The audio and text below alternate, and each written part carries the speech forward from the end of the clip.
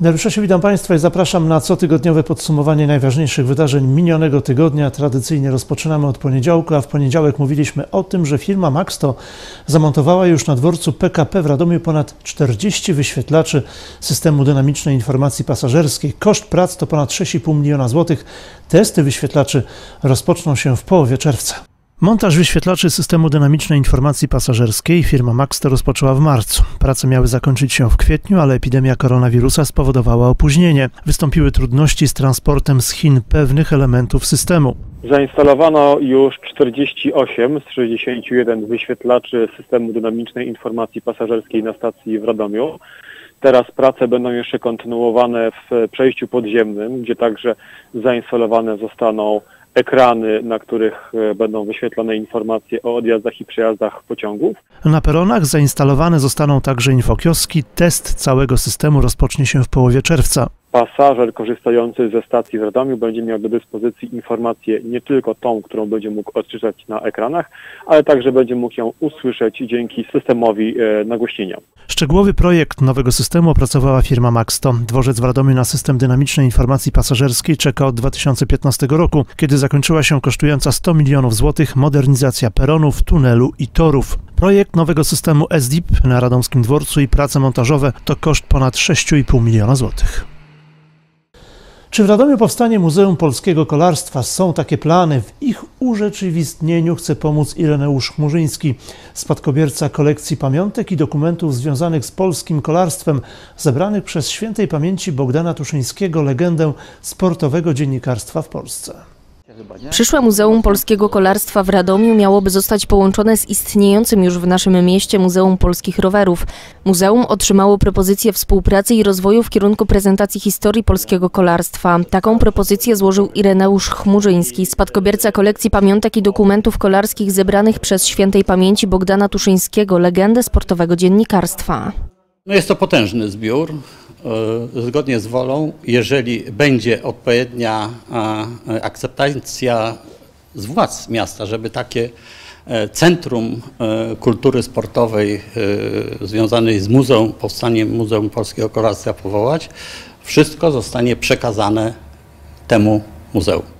Kolekcja pana Ireneusza opiewa na ponad 3800 sztuk pamiątek i zbiorów po redaktorze Bogdanie Tuszyńskim, dziennikarskiej legendzie. Muzeum Polskich Rowerów w Radomiu jest bardzo zainteresowane poszerzeniem swoich zasobów i współpracą z Ireneuszem Chmurzyńskim ogrom wiedzy kolarskiej jest czymś niesamowitym i, no i doda nam po prostu, yy, doda nam dodatkowych skrzydeł i, i tego się trzymajmy.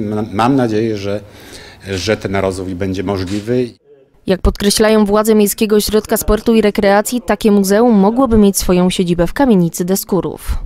Oczywiście, że jesteśmy zainteresowani, bo gdybyśmy nie byli zainteresowani, byśmy tego nie, nie przejęli do Mosiru, nie, nie przetrzymywali do momentu tej wykończenia tej kamienicy Deskurów, gdzie chcemy, chcemy to y, umieścić i myślę, że mimo jakichś tam problemów finansowych, bo wiadomo, Mosir nie ma w budżecie ujętych y, tych pieniędzy na to muzeum, ale myślę, że tutaj po rozmowie z prezydentem, z panem dyrektorem y, doszliśmy do wniosku, że na pewno to będzie dalej kontynuowane. Dziś nie można przesądzać, czy Muzeum Polskiego Kolarstwa w Radomiu powstanie. Pierwszy ważny krok został zrobiony i trzeba mieć nadzieję, że zostaną zrobione kolejne. Zaostrza się polityczno-samorządowy konflikt wokół budowy Radomskiego Centrum Sportu. Radni Prawa i Sprawiedliwości straszą prezydenta Radosława Witkowskiego prokuraturą, a prezydent odpowiada: Liczą na to, że radnym PiS nie zabraknie odwagi i takie doniesienie na mnie złożą. W ubiegłym tygodniu radni Prawa i Sprawiedliwości, jednocześnie m.in. członkowie Komisji Rady Miejskiej do spraw budowy Radomskiego Centrum Sportu niepokoili się wzrostem kosztów budowy hali i stadionu przy ulicy Struga. Inwestycja, która kosztowała nas, miała kosztować początkowo ponad 100 milionów. W ostatnim czasie została podpisana umowa na 82 miliony. Dziś ja Państwu chciałem powiedzieć o tym, że mamy kolejny z aneksów podpisany na kwotę ponad 2 milionów złotych. Według radnych PiS budowa RCS-u może pochłonąć nawet 200 milionów złotych. Mateusz Tyczyński, wiceprezydent Radomia, komentując te szacunki, zwraca uwagę na realizację inwestycji przez poprzedniego wykonawcę firmę Rosabud. Rzeczy, które wynikają z niedopatrzenia, e, to są elementy po kilkadziesiąt tysięcy złotych. Natomiast te, które trzeba poprawić po poprzednim wykonawcy, to idą w setki tysięcy i miliony złotych. Więc dzisiaj musimy y, to, co tam y, się dzieje, opanować. Jest dobry już na to plan, rozpoczęły się działania. W porannej rozmowie Radia Rekord Telewizji Dami Łukasz Podlewski, radny Prawa i Sprawiedliwości, pytał, dlaczego Miejski Ośrodek Sportu i Rekreacji jako inwestor budowy, wiedząc, że pojawiły się problemy na budowie, odebrał wykonane prace i za nie zapłacił. Mosir, nie patrząc chyba na to, jak wykonane są prace faktycznie, po prostu przelewał kolejne miliony. Jeżeli prezydent dziś mówi o odpowiedzialności jednej z firm, to ja oczekuję, że prezydent Witkowski jeszcze w tym tygodniu złoży zawiadomienie do prokuratury. Nie będzie posiłkował się tylko tym, co zrobił Mosir, ale jako odpowiedzialny gospodarz miasta z takim e, zawiadomieniem wystąpi. Jeżeli nie, panie prezydencie, no, my nie tyle, że to pana wyręczymy, tylko po prostu pan po prostu jako gospodarz, który nie potrafi zarządzać miastem, pan będzie do tych organów prokuratury zgłoszony. Prezydent Radosław Witkowski w programie Punkt Widzenia odniósł się do słów radnego Podlewskiego o prokuraturze. Słowo się rzekło, kobyłka upłota. Ja w ciągu kilku dni czekam na to, aż pan radny Podlewski złoży zawiadomienie do prokuratury na mnie. Żeby było, jednocześnie, panie... jednocześnie, jednocześnie, panie redaktorze, jeśli tak jest, to jednocześnie e, chcę, aby opublikował, upublicznił to, to zawiadomienie do prokuratury. To są bardzo poważne oskarżenia i myślę, że radnemu, E, Podlewskiemu, radnemu Podlewskiemu, panie redaktorze, nie zabraknie w tej chwili odwagi, że od takich słów e, przejdzie do czynów. Budowę Radomskiego Centrum Sportu dokończa firma Betonox Construction z Sopotu. Termin zakończenia prac to styczeń 2021 roku. Pytanie, czy zostanie on dotrzymany, skoro trzeba rozebrać jedną z trybun stadionu, wykonać prace naprawcze i ponownie ją złożyć. Trwają zaawansowane prace przy budowie pasa startowego na lotnisku na Sadkowie. Rozpoczęły się także prace ziemne pod budowę terminalu, które prowadzi firma Mirbut. Tymczasem przedsiębiorstwo Państwowe Porty Lotnicze ogłosiło kolejne cztery przetargi dotyczące rozbudowy radomskiego lotniska. Przedsiębiorstwo Państwowe Porty Lotnicze ogłosiło kolejne przetargi na rozbudowę lotniska w Radomiu. Obejmują one budowę układu drogowego, obiektów technicznych, płyt postojowych i dróg kołowania. Budowa lotniska postępuje, widać już pas startowy. E, To bardzo dobrze, że ta inwestycja idzie do przodu, bo lotnisko w Radomiu będzie bardzo potrzebne i dla tego regionu, ale również dla systemu lotnisk w Polsce za te 2-3 lata, kiedy ruch lotniczy po tym spowolnieniu koronawirusowym już nie tylko się odbuduje, ale domniemać można będzie bił nowe rekordy tej przepustowości portów lotniczych e, na środkowym Mazowszu, na Mazowszu w ogóle będzie brakowało i tu e, port Radomiu będzie odgrywał ważną rolę. Wykonawca przebudowy drogi startowej, firma Max Bugl Polska, układa już ostatnią wierzchnią warstwę. W tej chwili e, jest układana ostatnia wierzchnia warstwa e, drogi startowej. Postęp robót, jeśli chodzi o tą sferę nawierzchni betonowej, jest na poziomie około 39%. Harmonogramowo wykonawca ma w terminie do 13 lipca zakończyć roboty nawierzchniowe.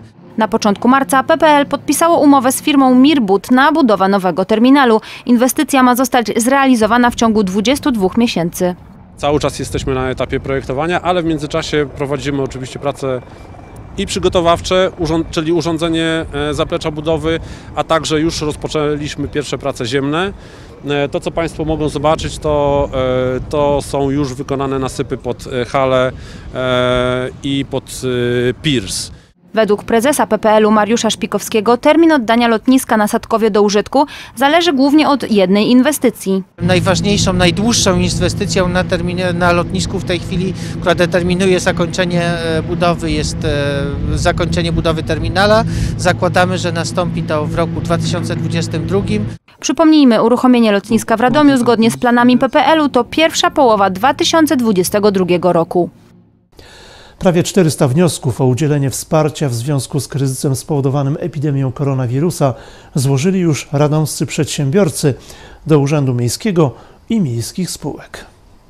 Prezydent Radomia Radosław Witkowski mówi wprost, budżetem Radomia na 2020 rok nie jest dobrze. Jesteśmy w trudnej sytuacji finansowej, wystarczy e, tylko spojrzeć na te słupki i, i, jeśli chodzi o stronę dochodową, e, ewidentnie brakuje nam, e, zgodnie z prognozą, jednej trzeciej dochodów związanych z podatkiem, z podatkiem od osób fizycznych, ale również przecież radni Rady Miejskiej na mój wniosek przyjęli uchwałę, która przesuwa termin płatności podatku od nieruchomości, na których prowadzona jest działalność biznesowa na wrzesień. Kryzys wywołany przez epidemię koronawirusa dewastuje budżet miasta. I te negatywne skutki e, budżetowe odczujemy wszyscy. Kwiecień to jest spadek dochodów do budżetu o 15 milionów, więc to jest znacząca kwota. Dodatkowo działa w Radomiu pakiet pomocy Bezpieczne Miejsca Pracy, który automatycznie zmniejszył przychody do budżetu. Pieniądze uciekają, wydajemy je, natomiast e, jeśli chodzi o stronę dochodową, to niestety, ale jesteśmy znacznie poniżej prognozy, stąd, y, stąd też musimy oglądać każdą złotówkę, nawet mogę powiedzieć odpowiedzialnie, każdy grosz musimy oglądać z dwóch stron. Najwięcej, bo ponad 240 wniosków od przedsiębiorców dotyczy ulg w spłacie podatku od nieruchomości i podatku od środków transportu. Wpłynęło też ponad 70 wniosków dotyczących ulg w czynszach z tytułu najmu lub dzierżawy lokali gruntów należących do gminy. Ulgi takie proponuje nie tylko Miejski Zarząd Lokalami, ale także RTBS Administrator i Miejski Ośrodek Sportu i Rekreacji. Przedsiębiorcy korzystają także z oferty wodociągów miejskich oraz Radkomu, czyli z możliwości odroczenia płatności za wodę oraz zawieszenia realizacji usług i płatności za odbiór odpadów. Miasto wprowadziło także rozwiązania pomocowe skierowane do restauratorów. W tym roku ogródki gastronomiczne mogą zajmować większą niż dotychczas powierzchnię, a opłata wynosi 1 grosz za metr kwadratowy. Szpital w Nowym Mieście nad Pilicą ma nową sterylizatornię. Placówka dzięki dofinansowaniu z Unii Europejskiej wzbogaciła się o nowy sprzęt medyczny do leczenia i diagnostyki. Otwarcie nowej sterylizatorni w szpitalu w Nowym Mieście nad Plicą było wydarzeniem doniosłym. Wzięły w nim udział władze szpitala, powiatu grujeckiego i Mazowsza bez sterylizatorni no, szpital nie mógłby funkcjonować już, bo ta stara e, nie spełniała norm. Trzeba było wynajmować, ewentualnie gdzieś dostarczać narzędzia, i żeby korzystać z usług. To jest no, bardzo drogie i e, te pieniądze by nam uciekały, a w tym przypadku e, możemy my świadczyć usługi na tej nowoczesnej sterylizatorni. Sterylizatornie przebudowano, zakupiono sprzęt potrzebny do diagnozowania pacjentów, m.in. sterylizatory parowe, myjnię ultradźwiękową, urządzenia do czyszczenia parą, respirator i dwa kardiografy. W ogóle te sprzęty są potrzebne w poradniach, aby funkcjonowały, aby poprawiała się jakość e, diagnozowania pacjentów. Te sprzęty są nam bardzo potrzebne. Szpital w Nowym Mieście nad Pilicą był jednym z większych ognisk koronawirusa w powiecie grujeckim. Dlatego nowa sterylizatornia, jak przyznaje marszałek województwa mazowieckiego Adam Struzik, jest niezbędna w czasach epidemii. Jest bardzo wysoki poziom, e, bardzo nowoczesne urządzenia sterylizujące. No i to jest kolejny etap e, modernizacji tego szpitala w Nowym Mieście nad Pilicą. Szpitala, który no już wiele razy padało pytanie, czy jest potrzebny, czy e, jest w stanie przetrwać te trudne sytuacje. Jak życie pokazuje, jest potrzebny i jest w stanie poradzić sobie również podczas epidemii. Przebudowa sterylizatorni w Nowomiejskim Szpitalu była możliwa dzięki dotacji unijnej, która wyniosła blisko 2 miliony złotych, natomiast cała inwestycja kosztowała prawie 2,5 miliona. To nie pierwsza inwestycja w szpitalu w Nowym Mieście. Dzięki wsparciu unijnemu możliwa była również rozbudowa izby przyjęć. Radomskie Przedsiębiorstwo Energetyki Cieplnej Radpec podpisało umowę na kredyt inwestycyjny w kwocie 150 milionów złotych. Pieniądze pozwolą sfinansować modernizację istniejących kotłów w ciepłowniach północ i południe, a tym samym zmniejszyć emisję zanieczyszczeń. Cała wartość inwestycji to 168 milionów złotych, około 18 milionów to wkład własny spółki Radpec. Okres kredytowania wynosi 20 lat. Inwestycja nasza y, związana jest z dyrektywą Parlamentu Europejskiego, która y, narzuca na firmy ciepłownicze nowe wymogi, jeżeli chodzi o dostosowanie do nowych norm emisji gazów y, do atmosfery. Projekt inwestycyjny pod nazwą RADPEC 2023 został zatwierdzony już w 2017 roku. Podpisanie umowy na udzielenie kredytu z Bankiem Gospodarstwa Krajowego to końcowy etap. Zakończenie tej realizacji y, będzie miało bardzo, bardzo duży wpływ na jakość powietrza, a tym samym jakość życia y, Radomian.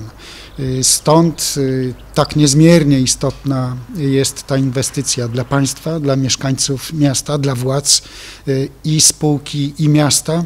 Realizacja projektu to także działanie zgodne z uchwałą antysmogową i programem ochrony powietrza uchwalonym przez Sejmik Województwa Mazowieckiego oraz planem gospodarki niskoemisyjnej przyjętym przez Radę Ministrów. Dziś pokazujemy, że chcemy modernizować Radpec i będziemy modernizować Radpec, będziemy mm, instalować te nowoczesne urządzenia wychwytujące zanieczyszczenia, czy to gazowe, e, czy, czy, czy, czy z- inne. E, e, Zrobimy to wszystko w oparciu o naszą spółkę, nie będzie zmian e, struktury własnościowej, a to daje nam bezpieczeństwo mm, dostaw energii e, cieplnej dla mieszkańców e, Radomia w perspektywie po roku 2023. Aktualnie trwa przetarg na wyłonienie generalnego wykonawcy inwestycji, która ma potrwać 2,5 roku. To wszystko w podsumowaniu najważniejszych wydarzeń minionego tygodnia w telewizji Dami. Ja już dziękuję Państwu za uwagę. Za chwilę prognoza pogody. Zapraszam. Do zobaczenia.